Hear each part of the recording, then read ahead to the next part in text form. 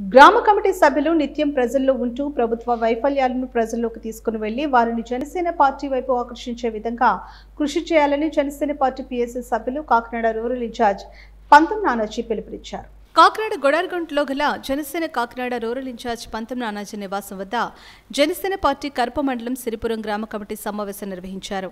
సమావేశానికి జనసేన పార్టీ కరప మండల అధ్యక్షుడు బండారు మురళి అధ్యక్షత వహించగా జనసేన పార్టీ పీఎస్సీ సభ్యులు పంతం నానాజీ ముఖ్య అతిథిగా పాల్గొన్నారు. గ్రామ కమిటీ అధ్యక్షులుగా నియమితులైన నున్నా మాధవ్ గ్రామ కమిటీ సభ్యులను పీఎస్సీ సభ్యులు పంతం నానాజీ సాలువా వేసి ఘనంగా సత్కరించారు. ఈ సందర్భంగా పంతం నానాజీ మాట్లాడుతూ జన సైనికులు అంతా ప్రభుత్వ వైఫల్యాలను ప్రజల్లోకి తీసుకుని వెళ్ళి ప్రజలను జనసేన పార్టీ వైపు ఆకర్షితులు చేయాలని అన్నారు.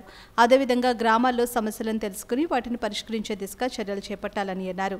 ఈ కార్యక్రమంలో ఎంపీటీసీ కత్తులి ధనలక్ష్మి మండల కార్యదర్శి నున్నా సురేంద్ర గ్రామ కమిటీ నాయకులు మద్దా మారుతి ఆచండ సత్యనారాయణ తాతపూడి రామారావు అక్కిరెడ్డి వీరబాబు మిరియాల దుర్గాప్రసాద్ కొరిమిల్లి కిట్టు ఎండమూరు సత్యనారాయణ పేపకాలి శ్రీరామ్ నున్నా లక్ష్మణ్ తదితరులు పాల్గొన్నారు.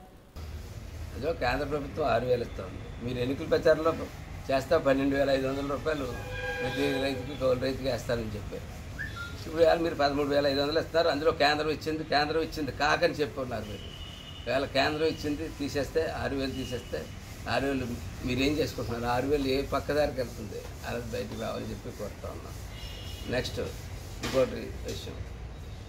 నేను గత రెండు మీటింగ్లుగా జగన్మోహన్ రెడ్డి గారి మీటింగ్ చూస్తూ ఉన్నాను.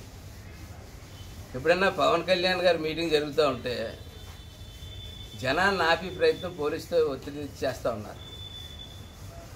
చిత్రం ఏంటంటే ఈ రెండు మీటింగులు నేను చూసింది నేను కంపేర్ చేసి చూస్తే జనాన్ని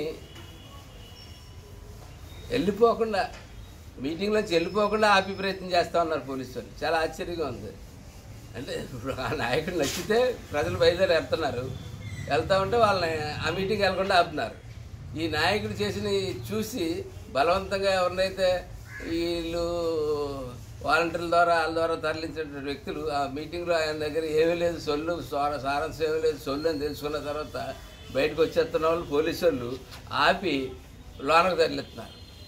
ఇది ఎక్కడ చూద్దాం నేను ఎప్పుడు ఈ ప్రజాస్వామ్యంలో ఎప్పుడు నేను ఇటువంటి కార్యక్రమం చూడట్లేదు దాన్ని బట్టే ఇవాళ ప్రజలు పవన్ కళ్యాణ్ గారిని కోరుకుంటున్నారు ఈయన రిజెక్ట్ చేస్తున్నారని చెప్పి తెలుసుకోవచ్చు